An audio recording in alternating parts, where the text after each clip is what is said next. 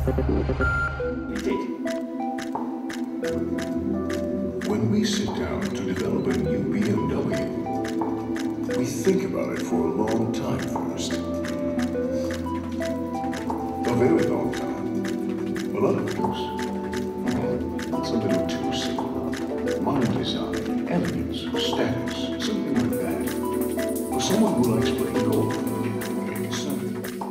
Chris, Sie haben heute den 5er GT vorgestellt, Gran Turismo. Gran Turismo. ja. Gran Turismo.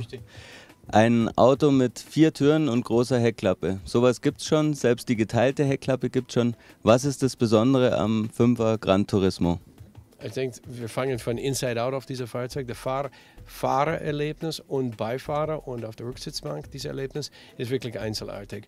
Ein riesig langer Radstand, das erlaubt die Sitzposition extrem äh, luxuriös auszustatten. Man hat mehr Kniefreiheit, als man würde in, zum Beispiel eine 7er haben. Und das ist etwas, das macht das Auto von Anfang an special. Und dann haben wir dieses äh, Heckklappe-Konzept benutzt in einem Weg, das ich glaube ist auch einzelartig, weil wir ne nennen eine Trennwand in die Interior. Das erlaubt man die Interior auch mit geklapptem Sitz sehr funktionell zu nutzen. Aber dann hat man immer eine Barrier zwischen das und dem Kofferraum. Man muss nicht sofort wie in ein Touring oder in ein, ein Ex-Fahrzeug sofort in den Kofferraum sitzen, sobald man hat einen Sitz geklappt. Aber wenn man das alles klappen will, dann hat man eine riesige Ein- und Auslagemöglichkeit. Das ist vielleicht das gesamte Holistikbild macht das Auto special. Verstehe.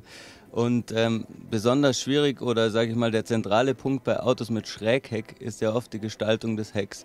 Nach unserem Eindruck ist das Heck des GT Gran Turismo sehr wuchtig. Es gibt auch ein paar andere Beispiele für Schräghecks äh, bei BMW. Ähm, wie würden Sie das Fahrzeug abgrenzen gegen diese anderen Entwürfe?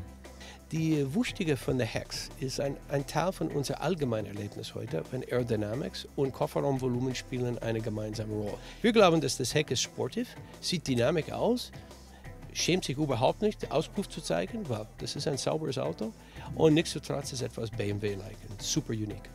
Wenn ich jetzt mal kurz vergleiche, dieses, dieses Fahrzeugheck, ein, ein gewisser Schrägheck ist das Z4 Coupé, das ja sehr viel knackiger aussieht, sage ich mal weniger ähm, vertikale Blechflächen bietet. Würden Sie sagen, äh, das ist Teil des Designs, dass der GT so aussieht, wie er aussieht, oder ist es auch dadurch bedingt, dass Sie einfach einen sehr viel größeren Kofferraum hier unterbringen müssen? Äh, wir oftmals denken an ein Heck ist nur Kofferraumvolumen, aber der Heck tragt viele von Crashstruktur hin.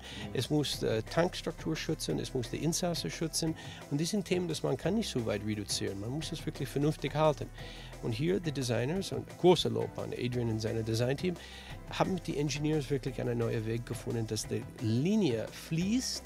Trotzdem, das Volumen ist da und die Seitengrafik spielen mit, ohne zu zu beschränken ihre Außensicht. Sie kennen den Skoda Superb, der auch so eine geteilte Heckklappe hat, ein sehr gutes Raumangebot.